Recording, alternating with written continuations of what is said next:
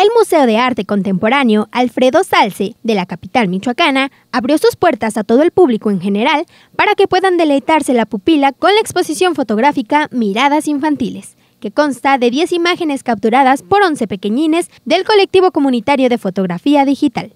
Pues los queremos invitar a que vengan a este fabuloso espacio que es el, Museo Alfredo Salce, para que ustedes puedan admirar el trabajo de estos pequeños creadores y que visiten las otras salas, porque en verdad tienen colecciones muy interesantes y de repente no tenemos mucho el hábito de asistir a los museos y hay que tratar de fomentar la cultura desde años tempranos, por eso es que está haciendo este proyecto. Dichas fotografías estarán expuestas durante 15 días gracias a la Secretaría de Cultura, a través del proyecto de alcance nacional México Cultura para la Armonía y la Casa de las Artes y Oficios de Santa María de Guido.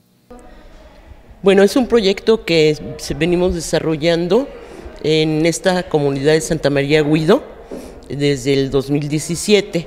Se ha estado impartiendo un taller para niños eh, de fotografía esta exposición muestra el trabajo que realizaron los niños Salvador Gallegos, Emiliano Godínez, Juan Carlos Ayala, Keira Gómez, Larisa Navarro, Regina Navarro, Rodrigo Rangel, entre otros, en el taller de fotografía impartido por la maestra Elsa Cecilia López Escamilla.